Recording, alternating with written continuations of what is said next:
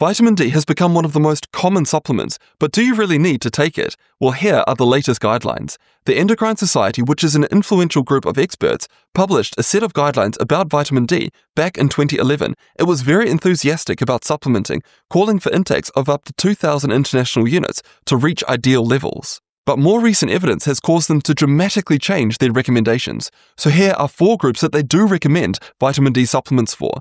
The first is for those under 18 years of age.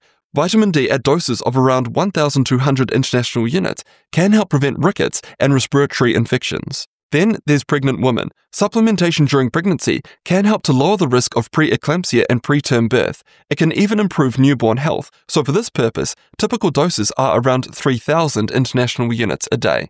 The third group is those who are at high risk of progressing to diabetes. Vitamin D could play a preventative role. Studies suggest an average dose of about 3,500 international units.